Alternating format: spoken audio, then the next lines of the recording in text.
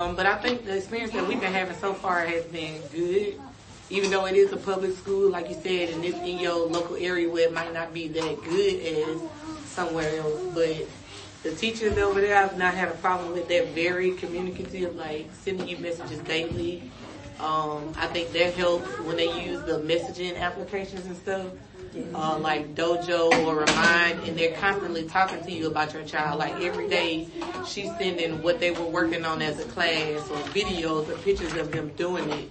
Um, so that's been very um, like easing for me because also, uh, like I mentioned to Ms. Harris outside, it's hard right now because.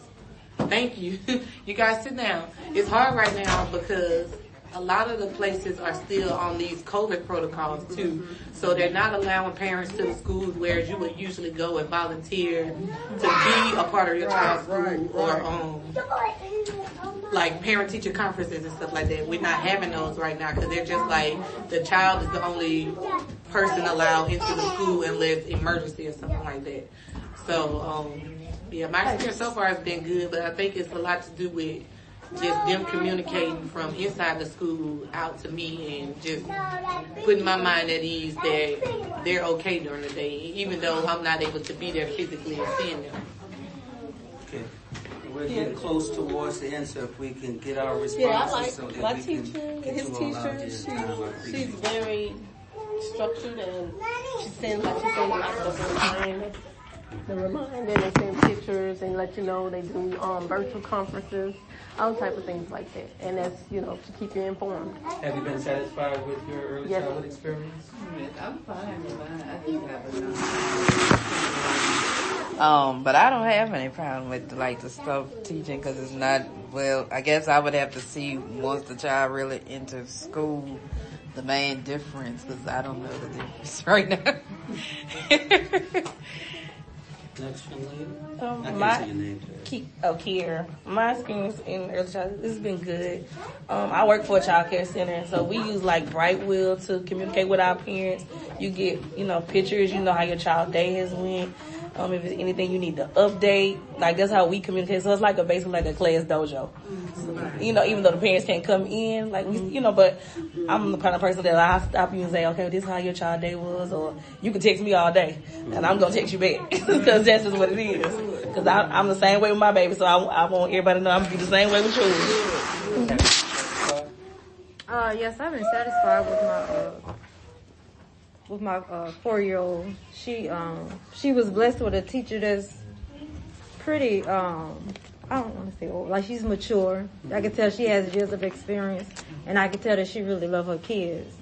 Um, so I've been satisfied with that, and I'm noticing even um, just her improvement with communicating. She can write her name well. She, you know, I, I see the. I can tell that the teacher is really doing her job. Also.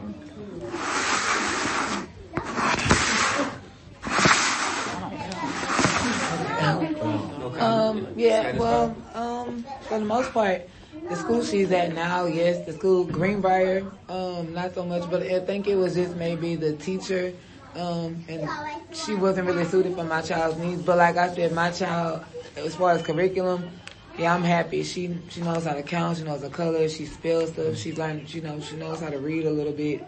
She even knows a little bit of Spanish, so I mean, I'm happy. Um, I don't have a child in uh, pre-K yet. Um, uh, Bella is one, but from what I see so far, not being biased uh, with our students at uh, Crestwood or the Learning Center, I think they are doing pretty well. Satisfied? And I'm gonna go to you too. Y'all Which way we're going? Um, so far, yeah. I just feel like they should have more homework and activities to where they're learning more because half the time when I'm asking her what she's learning, she's telling me the same thing. Yeah, I learned my one, two, threes and ABCs. I'm like, same Right. thing. Right. So, um, I do, I have noticed like, uh, You have a comment? my other, Oh, no, listen. uh, my other, uh, kids go Hosanna, like I said. I'm not trying to praise Hosanna, but my, um, I have a friend that started in pre-K for Hosanna and she's more advanced than she is. And, um, I guess it's like a, I'm not sure if Hosanna's like a private through, Yeah. private through E- It's from EBR Camp. early learning. But, um, you gotta have like a tuition or something, but like, if you like low income and stuff, they would help you pay it. But it is a bit different with Hosanna, just a regular E EBR. Have you been exper, I mean, have you been satisfied with your experience? Particularly because of the disability? So as of now, I am. Um, when I first started the process, I was not. Um, my child, um, if I was not the parent that I am, my child unfortunately would have fallen through the cracks as far as trying to get her services. Um, and so I had to go through all this whole process with um, with the pupil appraisal, as far which who which is who does the evals to qualify the students to get their services. And I had to ended up getting a, a lawyer involved and all of this other type of stuff for my child to be able to get the services that she is supposed to get. Um, and it should that should not have been. I should not have to jump through all those hoops. And, and you know, I, I, I and I. I paid twice, right? Because my money is already paying for the lawyer for EBR. Then I had to pay for the lawyer for myself.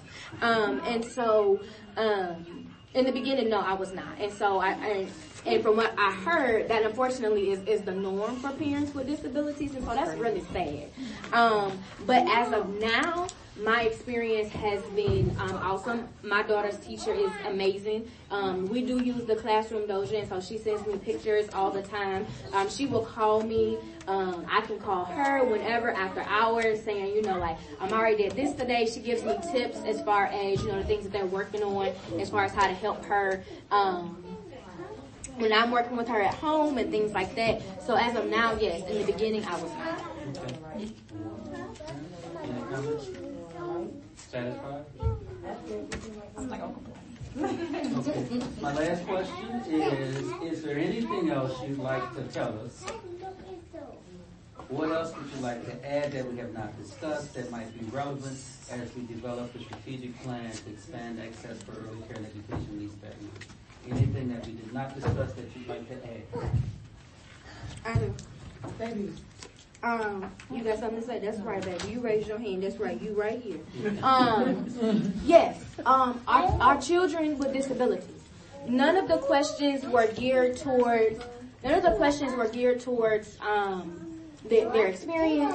You know, their their their interactions. Their their you know what they learned. Like absolutely nothing.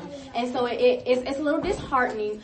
Um, because if I was not here, that that perspective would not have been represented. Yeah. And so, um, it's it's it's it's very sad because a lot of their services are provided through Medicaid, so the money and the funding and stuff is there, and so it's it's really it's really sad and disheartening um, because again we have to jump through all of these hoops to to get our kids what what they deserve, and they are always always, always, without a doubt, mm-hmm. left off in everything that EBR does.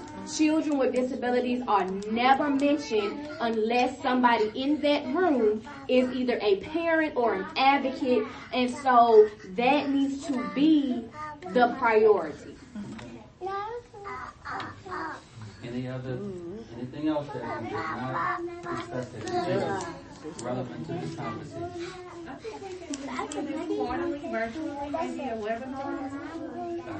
It's on the recorder, so she knows it's gonna hear it. Well, thank you all so much for your time. We appreciate you coming out, and because of your active participation, we do have gift cards for the participants. What? You know about the gift cards? Oh, y'all, and look, when y'all get a chance, uh, do y'all mind taking this survey? Just scan it with your phone if you haven't already. Yeah, I think that's pretty early next year. Um, because I actually do feel the same way. Um, who has South um, who also went through South Downs. And, um, What was your question? So, do y'all plan on in the future, like, He always says, but I'm always, I'm almost full. I can't answer that question, but it is being noted for EBR to take reference of it. I gave you a call? No, he's saying, but you can call me Joe. And this okay, Joe. will end if I can. Or not use the dream large.